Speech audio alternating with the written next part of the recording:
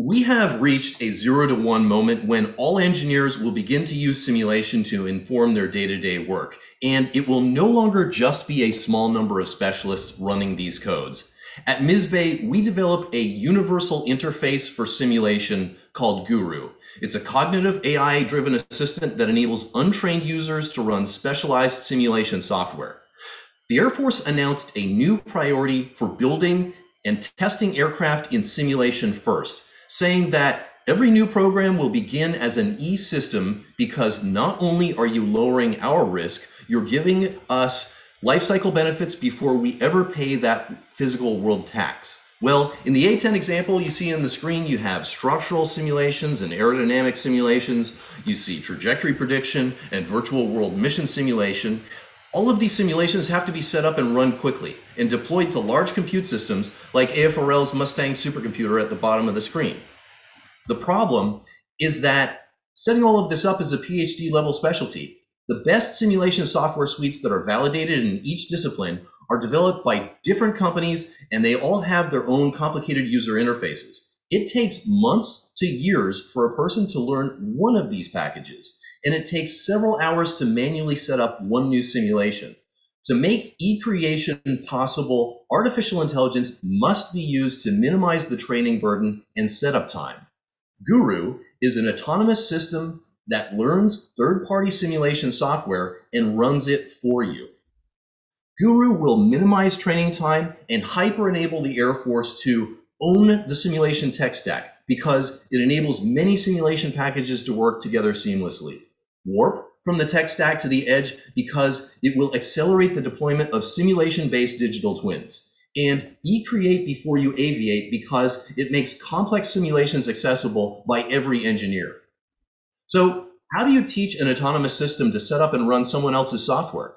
Simulations are computationally expensive and human expert sessions are expensive. So data efficiency is critical we invented a scalable learning process that is data efficient for complicated procedures, and the decisions are explainable. We use a hybrid of symbolic artificial intelligence and machine learning methods in our automated reinforcement learning guided tree-based hybrid intelligence synthesis trainer, or ARTIST.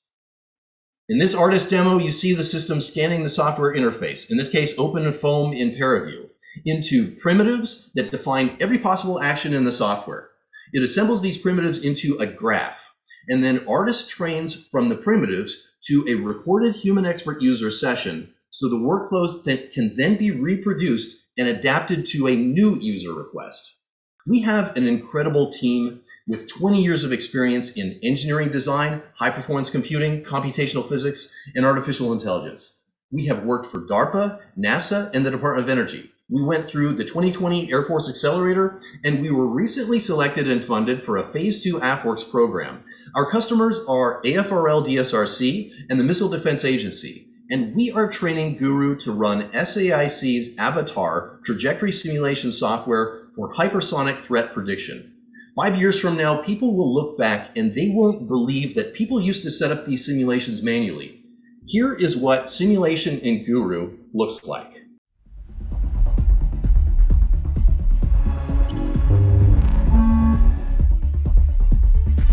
What are we simulating today?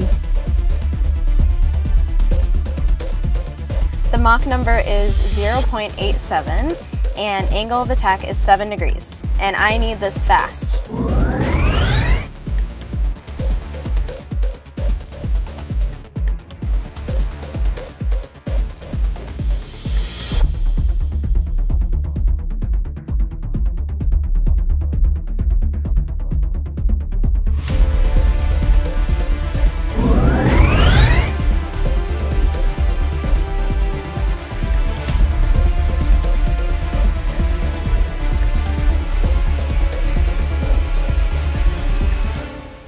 Destination is the moon for a lunar flyby set up for a free return trajectory back to Earth.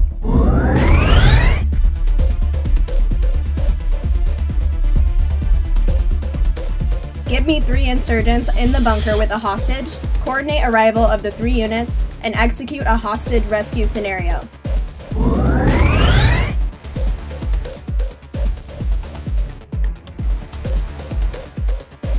Simulation complete. I'm sure you're reviewing some really impressive simulation software today, but how are you going to use it all? Please contact us to help with your simulation use cases. Thank you. Thank you, Alan. And um, with that, we're going to take a 15 minute break if anyone has any questions. Um, I look here in the chat and I don't see any.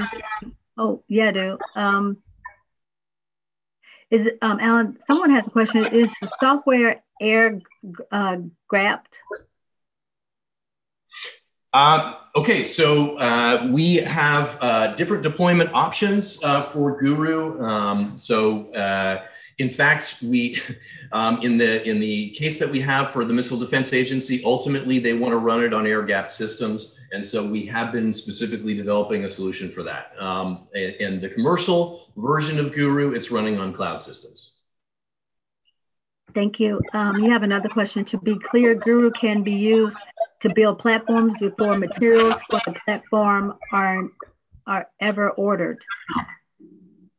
Um, indeed. So this is, uh, you know, going back to uh, Dr. Will Roper's uh, uh, red pill reports and uh, the new urgency of simulation first. Um, there are a very broad range of simulation software packages to uh, run simulations of every possible subsystem and type of physics um, with respect to you know anything on an aircraft from uh, you know combustion in the aircraft engine to aerodynamics of the entire vehicle to simulating trajectories and uh, um, simulating entire missions uh, in simulation first. The problem is that each one of these simulation packages, while validated and highly valuable, and they've all existed for years, they take months to years each to learn how to use. So when you're talking about the new radical scale simulation that the Air Force has been working on, um, in order to actually achieve that scale up, you have to put as much on the compute side as possible. And we're using artificial intelligence to drive that setup time uh, of the simulations down to a minimum and uh, run as much of uh, these virtual simulations of uh, new aircraft platforms uh, autonomously. Very good. Thank you. See if we have any more. And that was from Justin Harvey. Okay. We don't have any more questions. Thank you so much, Alan. Your presentation was awesome, and um, we'll be in touch. Thank you so much. Thank you.